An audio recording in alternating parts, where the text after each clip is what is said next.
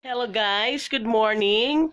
So, pupunta kami ngayon ng Bayugan para mag-grocery at mamili para sa birthday ng papa ko this February 2. So, kasi walang mga mall dito. May palengke pero hindi kumpleto. So, biyabiyahin naman ako para doon mamili. So, tara, sama tayo guys. Truly something special. Just what my dreams are, Dreams are really made made of. of. Let's stay together, oh, boy. There's no one like you around. So, ayan na guys. Biyahe na naman kami. Sakay ng habal-habal with kuya. Yung suki ko dito na motorcycle. So, ayan. Biyahe na naman guys. Papuntang Bayugan para mag-grocery sa birthday ng papa ko.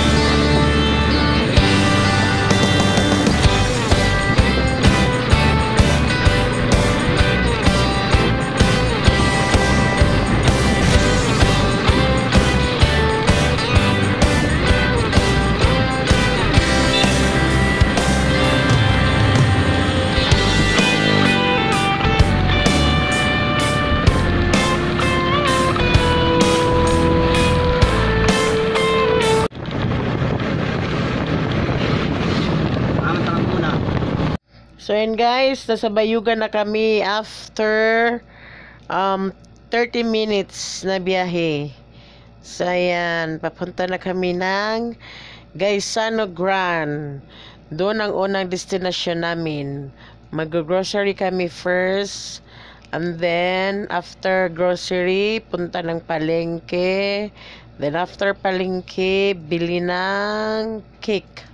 Kasi guys, hiwala, hiwalay-hiwalay ang bilihan dito. Hindi hindi katulad sa mall na nandun na lahat. Hindi ka pag nakalabas ka na kompleto na dito is hindi kompleto guys. Kaya yan, paputol-putol. So yan guys, marami ng sasakyan kasi national road na ito. Pwede na dito na dumadaan ang mga bus papuntang Butuan, papuntang Davao. So kaya yan, malaki na ang kuan. Diyan, mayroon silang Prince Supermart. Sa Bayugan, guys, kompleto-kompleto na rin sila. Marami ng mga establishment dito. May mga gasoline station. Yan, mayroon silang ganyan. Dismark. Yan, may bus. National Road na to, guys. So, papunta na kami ng Gaisano.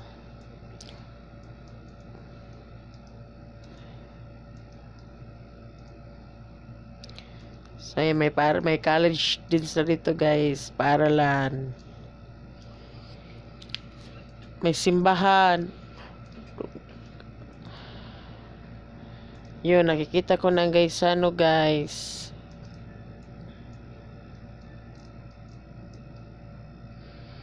So, ayan, malapit na kami.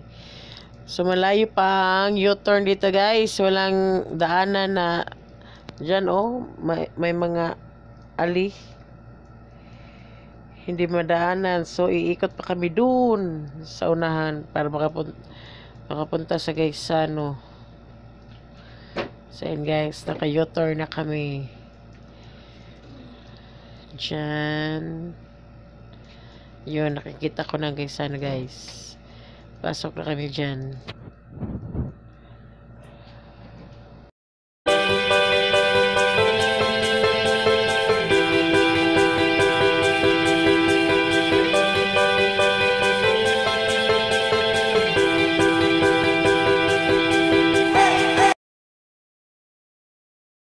So dito guys, bibili muna kami ng gamot, mga maintenance ng mama at papa ko.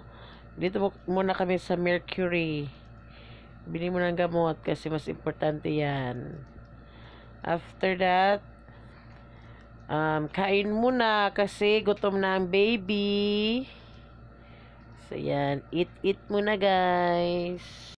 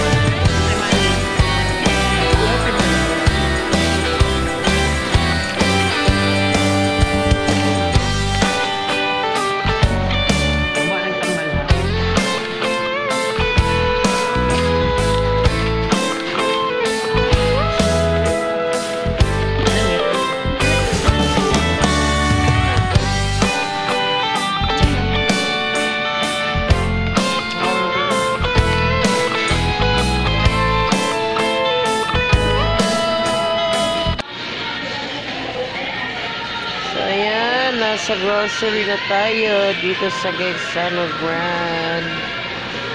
Pipili na kami ng aming mga bibilhin para sa birthday ng father ko. Ako lang kasi magluluto guys. Ako lang bibili at mamili. Ayan.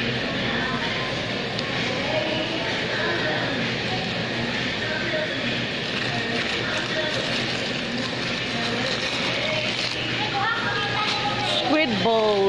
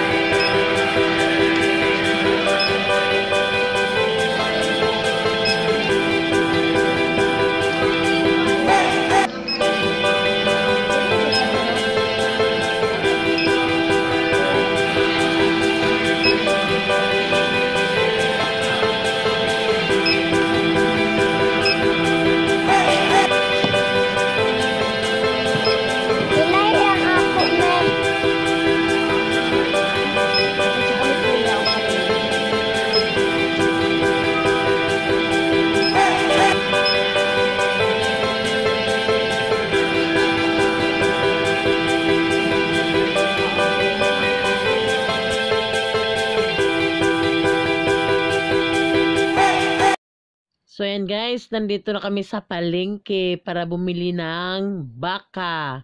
Dahil magbi-beef stick ako. So ayan guys, ang laki naman. So kasi walang baka doon sa mall at saka mas mura dito sa palengke pag dito ka bumili. Pero dito sana ako bibili ng mga karne. Pero gusto ko na yung cut na, na siya guys. Kasi hindi ako marunong mag-cut ng mga karne. Marunong naman pero hindi siya parang mas gusto ko yung uniform sila. Tsaka mas maganda tingnan ang pagkakat. Kaya pag ganun sa mall ako bumibili sa mga supermarket. Pero ito baka dito ko na binili tsaka yung mga lamas guys kasi mas mura dito kaysa doon sa mall. So ayan, nakabili na ako.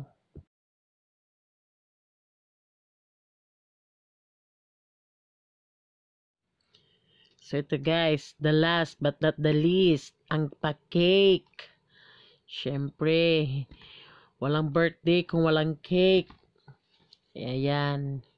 Yan yung last ko binili kasi dalawa ang bibilhin ko. Isa sa papa ko at isa sa kapatid niya kasi magkapareho lang sila ng birthday. Be-birthdayhan lang namin kasi walang pamilya na dito. So, pag-gift na namin yan sa kanya. At saka, doon na rin siya magbe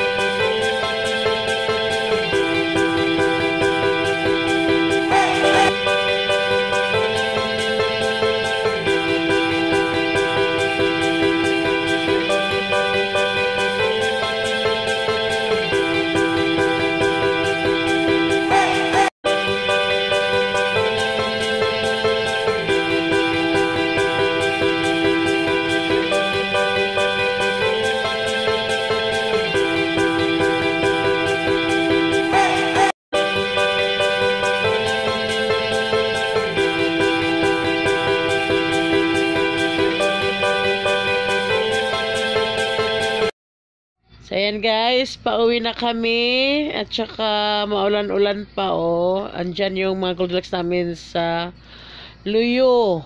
Nakatali. So, yun na guys, yung ganap namin kanina. So, ngayon lang ako nakapag, nandito na kami sa bahay. Ngayon lang ako nakapag-vlog kasi naturog ako guys. Kasi napagod ako. Diyos ko. So, marami kaming mga nilakad kasi iba't iba ang tindahan doon. Hindi katulad ng isang mall na sa isang mall nandun na lahat yung mga kailangan mo. So sa Bayugan kasi guys is ang kaysa na doon is grocery, grocery lang talaga siya. Pero meron siyang mga department store doon sa taas. So yung cake tsaka yung ibang mga binili ko sa iba ko pa sa iba ko pa binili. Yun. So yun napagod ako guys. So ang bayugan guys is sakop din siya ng Agusan del Sur. Ang Agusan del Sur kagaya ng Talacogon so kasi doon ang bayugan is dito sa amin um, meron kaming one city. Yun ang Bayugan City. So doon sa Bayugan guys ang kompleto-kompleto ng mga mga establishmento nandoon. So, pag mga ganun, gaya ng sinabi ko sa mga una kong vlog, pag kami mag-grocery, mga may kailangan, bumabiyahe pa talaga kami guys para doon mamili. Kasi dito sa aming lugar, wala talaga guys. Probinsya talaga, lang talaga to siya. So, ayun. Pero hindi siya probinsya na halos wala. Meron din naman dito pero hindi siya kumpleto lagi gaya ng sinasabi ko. So, pag gusto mo na kumpleto ang mga la- lalo na pag gusto mo- may handaan sa inyo, gusto ka bumili ng mga iluluto mo, doon ka na lang kasi dito wala talaga. Meron lang karne pero hindi ka makapamili ng maayos. So, doon, cut na siya. O ganun, gusto mo to sa adobo, may adobo cut na. Gusto mo naman ng mga liempo, nandun na. Sa chicken naman, hiwalay na ang drumstick, wings, mga thigh. Dito, one whole, one whole. Ikaw lang mag-chop. Ganun. So, ganyan siya, guys. So, naghahanda ako kasi birthday ng father ko this, this February 2, ika 59th birthday niya. So, gusto ko naman, gusto naman namin ng ate namin, ng ate ko, kasi dalawa lang kami, na bebirthdayan siya para naman masaya kasi love namin ng papa namin dahil, at lang ng mama namin. So kaya yun na ang regalo namin sa kanya guys. Okay? So thank you. Hopefully nag-enjoy kayo sa pagsama sa akin. So sa susunod na naman. Bye bye I think you're truly something special.